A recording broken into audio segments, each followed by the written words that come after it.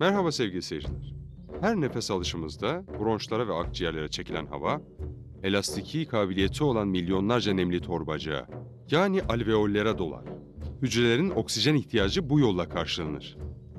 Yine aynı yolla karbondioksit denilen zehirli hava dışarı atılır. Aslında bir soluk alışverişte iki defa hayatımız bize bağışlanmış oluyor. Hepimiz her an hayatı bağışlanan yolcularız aslında. Herkes bu misafirhaneye uğrar ve bir iz bırakır gider. Bu izler arasında öyleleri var ki onları zaman ve asırlar aşındıramaz. Öyle izler de vardır ki yürüyenle birlikte kaybolur gider. İz vardır ki arkadan gelen yol der tutar gider. İz var ki patikadan dağ yolundan da beter. İz vardır ki ona da onu bırakana da lanet olunur. Sevgili seyirciler, Bıraktığı izle pek de olumlu hatıraları bırakmayan acı fakat ibretlik bir hikaye şimdi ekrana geliyor. Gerçek hayat hikayelerini bizlere yansıtan Sırlar Dünyası'na bu hikayeyi Ahmet Tokur gönderdi.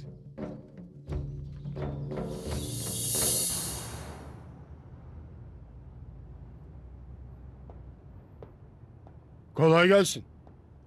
Sağ ol. Oho bakıyorum çanta dolu. Hepsi döviz galiba. Yeni bir dükkan açacağım be Fuat. Sıkıldım böyle kaba saba işlerden. Neyim var neyim yok sattım. Kuyumcu dükkanı açacağım. Dükkan bakıyorum. İyi bir yer bulursam hemen tutacağım. Şimdi kazandığından fazlası var herhalde kuyumculukta. Aklını kullanırsan var tabii. Selamünaleyküm, iyi günler. Selahattin Bey gönderdi beni. Adım Tunç. Aa Merhaba. tamam. Ben de seni bekliyordum. Hoş Merhaba, geldin. nasılsınız? Şöyle geç otur evladım. Lütfen efendim. Madem işe başlamak için çağırdınız beni, direkt başlayalım. Hı. İlk günden oturmak olmaz değil mi efendim? Etrafa şöyle bir çeki düzen vermek lazım. Yaşadım Fuat. Bu delikanlı cin gibi maşallah. Selahattin iyi eleman göndermiş. Gönderdiğin tezgahları çok beğendim be Selahattin. Uyanık, cin gibi. Nereden buldun? Ha sana da sorayım Selahattin. Yeni açtın kuyumcu dükkanını gerçi ama nasıl gidiyor işler? İyi kazanıyor musun? Efendim? Hay Allah, araba arıza yaptı. Tüh. Neyse ben seni sonra ararım.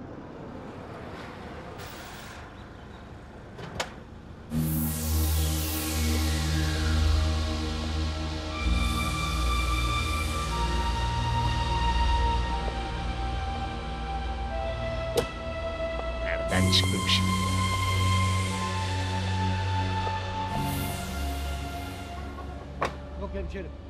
Varisleri bir araya getir anlaşsınlar. Kapı veriyorlarsa alın. Yoksa olmaz. Peki Erol. Tamam. Bina güzel. Güzel olmasına da varisler çok be birader. Ben her birinin ayrı ayrı gönlüne edemem ya. Haklısın Hadi, abi. hoşça Hadi kal. görüşürüz.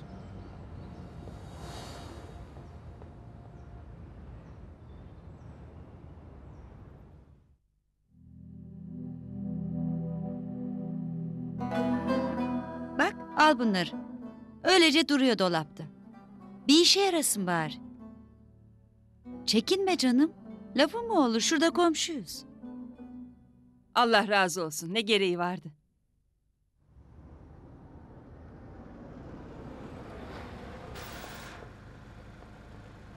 Yine gel Tamam, sohbet edelim tamam, mı? İnşallah. Hoşça kal. Hadi güle güle. Hoşça kal. Hoş geldin. Niye gelip duruyor bu kadın? Komşun değil mi? Gelecek elbet. Zaten ondan başka uğrayan da yok. Sağ olsun. Geliyor da sohbet ediyoruz. Neyse neyse sana güzel bir haberim var. Ne oldu? Hele içeri gir.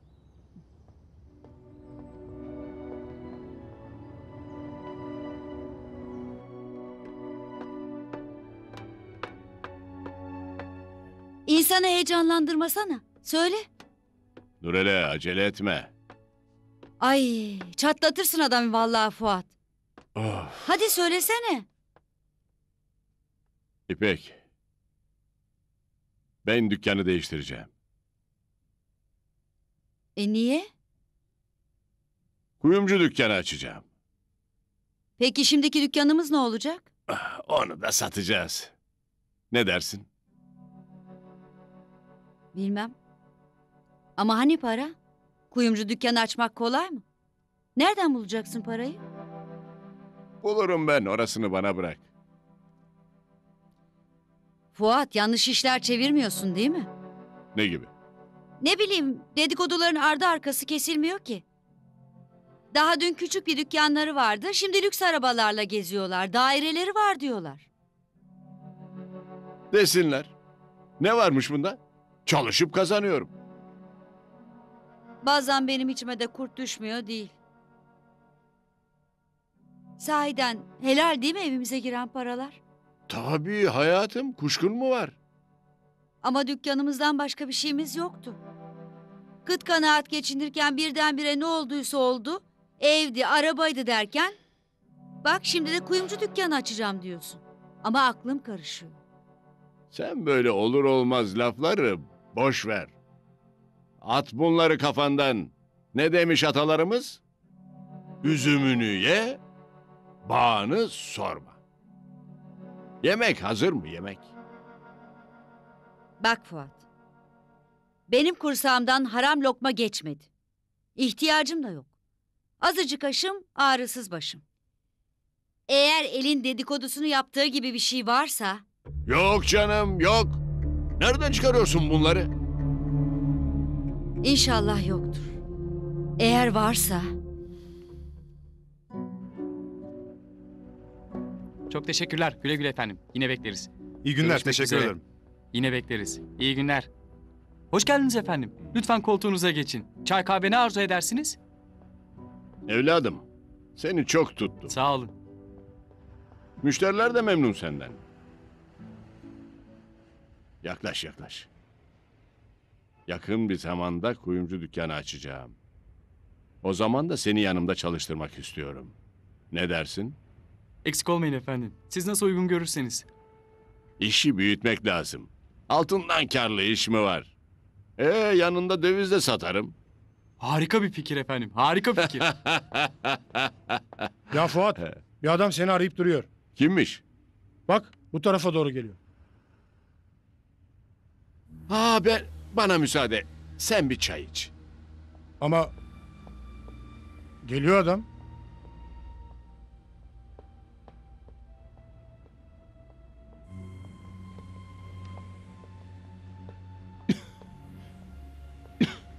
Buyurun efendim. Şey evladım Fuat Bey nerede? Bir yere kadar gitti amca. Ama bugün gelmez. Siz bir yarın uğrayın isterseniz. Peki.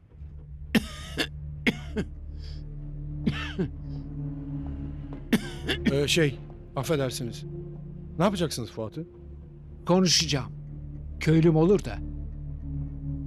Çok zengin olmuş diyorlar. Öyle mi? Kimden bahsediyorsunuz? Fuat Bey'den. Olabilir. Sizi ne ilgilendirir? Üç senedir görüşmedik.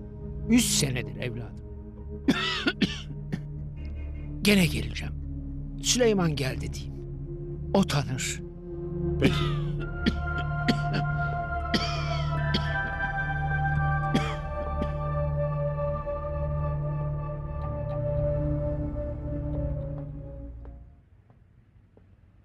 Ya bu adam seni niye arıyor Fuat?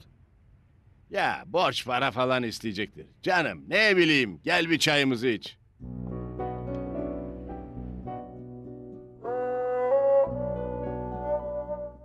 Ah kızım nereden bilebilirdik böyle olacağını? Dayanamıyorum artık anne. Sabah akşam kavga gürültü. Yetmezmiş gibi bir de yumruk attı bana. Sabırlı ol yavrum. Sinirleri bozulmuştur. Düzelir. Yuvan için, doğacak çocuğun için sabırlı ol. Çocuğum olmasa zaten durur muydum yanında? Bütün bunlara yavrum için katlanıyorum. Neler oluyor anlamıyorum ki. Çok şükür iyice elimiz bollaştı.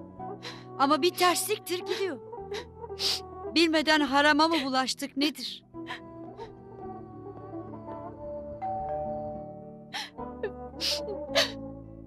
Bir bakayım kimmiş.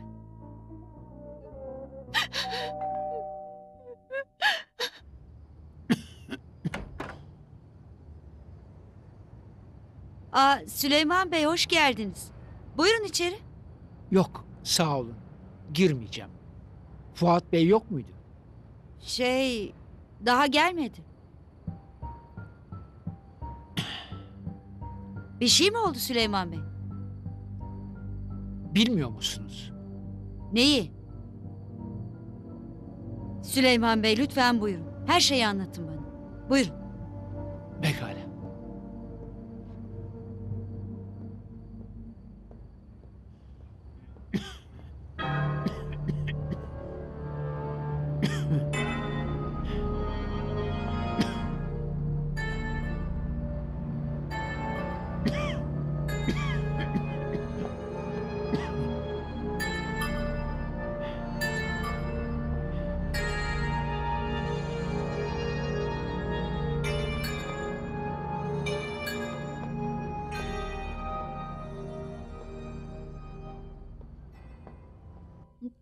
Hadi güle güle kızım.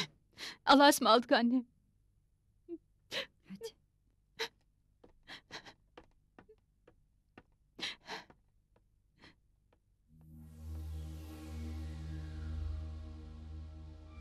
Bunu nasıl yaparsın Fuat nasıl? Demek dedikodular doğruymuş. Ya sende hiç vicdan yok mu? Ee, yeter be. Kes artık. Ay inanmıyorum.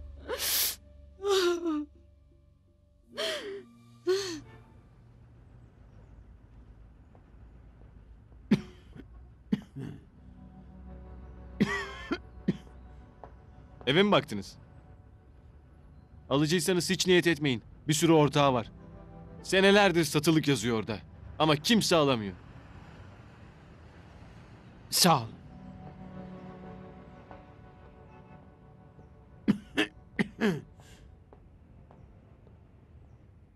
Hoş geldiniz Fuat Bey. Ne arzu edersiniz? Çay, kahve. Ya boş ver çay kahveyi. Oğlum o adam geliyor mu? Hani şu benim köylü Almancı. Ha, geliyor ama savuyorum başımdan. Merak etmeyin. Bir yalan uyduruver işte. Siz hiç merak etmeyin. Hallediyorum ben. Sana çok kanım ısındı be evladım. Benim hiç oğlum olmadı. Bir tanecik kızım var. Oğlum olsa ancak senin kadar severdim. Ben de sizi babam gibi biliyorum efendim. Sağ olun. Ha, Süleyman.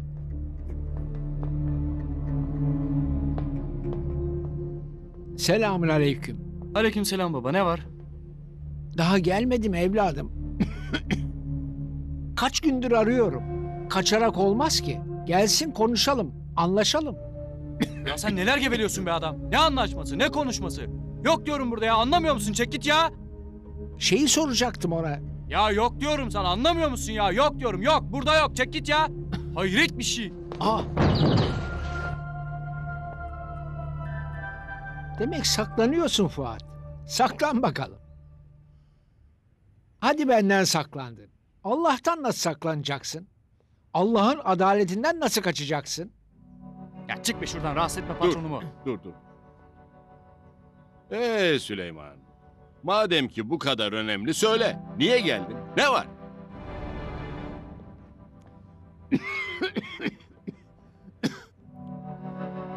Bir de ne var diyorsun? Daha ne olsun? Ne olsun? Binayı almamışsın. Sana emanet olarak verdiğim parayı harcamışsın. Daha ne olsun? Sen benim patronuma karşı Hop, nasıl hop, böyle hop, hop, konuşuyorsun hop, ha? hop, hop. Sen hayal mi görüyorsun be adam? Ne parası? Ne binası? Neden bahsediyorsun sen? Sana üç sene evvel binayı bana alıver diye para vermiştim. Nasıl unutursun? Bana para verdiğine dair elinde bir belge var mı? Senet var mı? Ha? Ne belgesi Fuat? Ben sana güvendim. Sözden öte senet mi olur? Şimdi nasıl inkar edersin? Hatırlasana. Ben hiçbir şey hatırlamıyorum. Ne senden para aldım ne de sana söz verdim. Sen hiç merak etme hemşerim. Ben o varisleri tek tek bulur, anlaşır, satın alırım. Gözün arkada kalmasın. Merak etme. Allah razı olsun. Senin de başına iş açtım ama bu şehirdeki tek tanıdığım sensin. Almanya'ya dönmeyecek olsam kalır ben hallederdim. Lafım olur Süleyman abi. İlgilenirim tabii. E bugüne bugün köylümsün abi. Ah Fuat ah. Ben bittim, tükendim. Almanya'da yaşamak dışarıdan çok güzel. Parası bol ama gel bir de bana sor. Kömür ocaklarında çalışa çalışa ciğerlerim çürüdü. Evlatlarım bari burada yaşasınlar. Gurbet elde sürünmesinler. Memleketimiz gibisi var mı? Senelerdir yemedim, içmedim, biriktirdim. Uğruna ciğerlerimi çürüttüm. Şimdi sen şu evi alırsan en azından evlatlarım rahat edecek. Onlar benim çektiğim çileyi çekmeyecek. Hiç endişen olmasın Süleyman abi. Haftaya tamamdır. Sağ ol Fuat. Sağ ol. Hadi. Allah'a ısmarladık. Allah razı olsun. Ben öyle bir şey hatırlamıyorum. Uyduruyorsun. Ne? Uyduruyorsun. Uyduruyor muyum? Ver paramı. Ver. Ben onları kazanmak için neler çektim biliyor musun? Kömür ocaklarında ömrümü çürüttüm. Ciğerlerimi çürüttüm onları kazanmak için. Ver paralarımı. Evlatlarımın nafakasını ver. Madem bana para verdin. Niye peşinden koşmadın paranın? Niye sormadın paraları?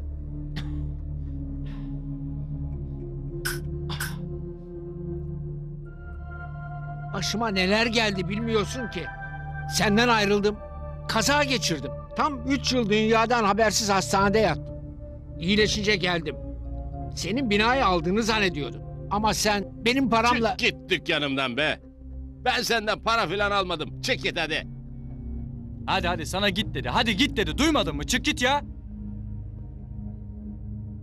Seni Allah'a havale ediyorum.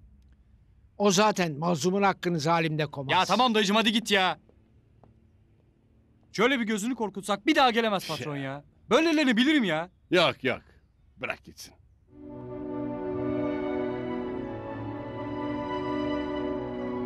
Biraz ucuza gitti ya neyse.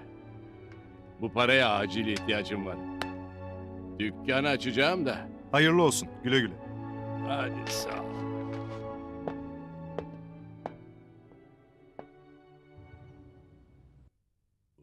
Dokuz, elli, elli bir. Ne var? Bir de gülüyorsun. Bir de gülüyorsun. Hiç mi vicdanın sızlamıyor? Yüreğinde katılaşmış senin katılaşmış.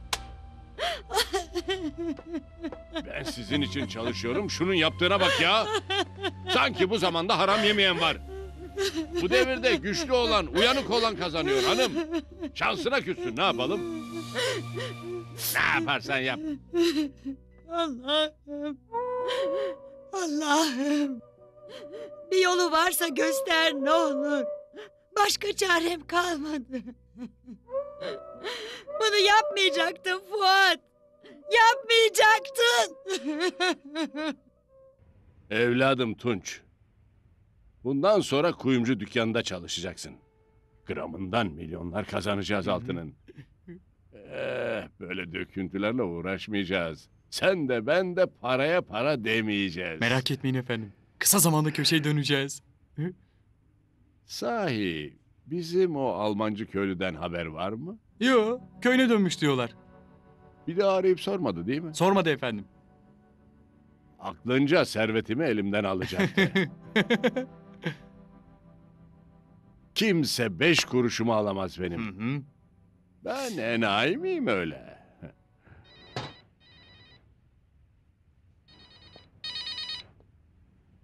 Alo, Halil? Ne var? E, tamam, şimdi geliyorum. Ee, oğlum ben yan dükkana kadar gidiyorum. Tamam. Birazdan gelirim. Tamam.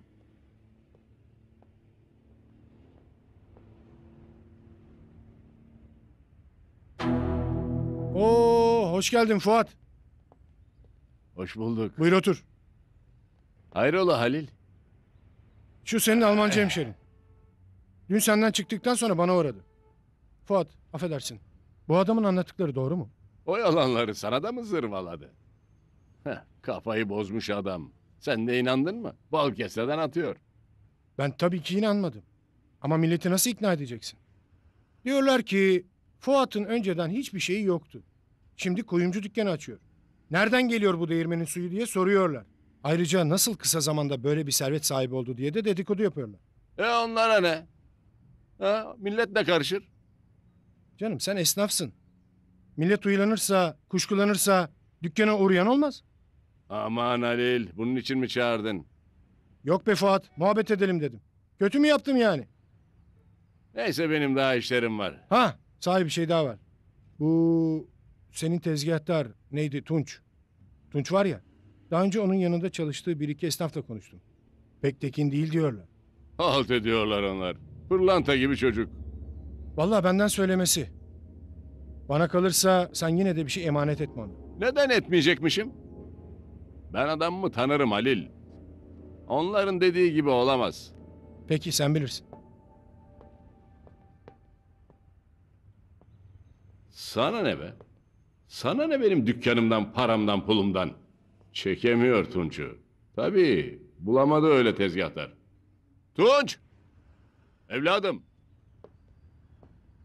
Tunç, neredesin? Tunç! Ya, ya olamaz.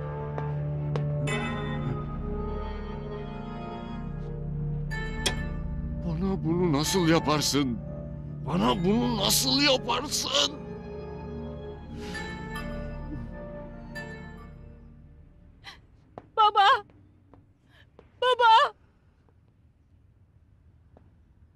Kızım, Baba! Baba! Ben bir daha o eve dönmem. Boşanacağım. Her gün dövüyor beni. Bıktım artık. Yeter. Yeter. Babacığım kurtar beni.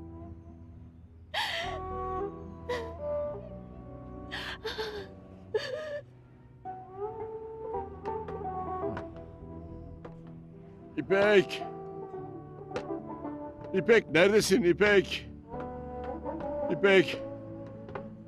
Oh. Neyimiz varsa gitti. Tunç hepsini alıp götürdü. İpek! İpek! Üç sene evvel neyse ki o olduk. İpek! Neredesin? Burada bir kağıt var. İpek! Annem not bırakmış. Okusana. Böyle olmayacak Fuat. Ben böyle yaşayamam. Yeri geldi seninle bir dilim kuru ekmeği bölüştük. Allah şahit bugüne kadar ne yokluktan şikayet ettim, ne varlıktan şımardım. Çünkü evimize girenin helal olduğuna inanmıştım. Ama şimdi görüyorum ki sen herkes gibi beni de kandırmışsın. Bundan sonra seninle yaşayamam. Sen yoluna ben yoluma. Allah sana basiret versin, ıslah etsin.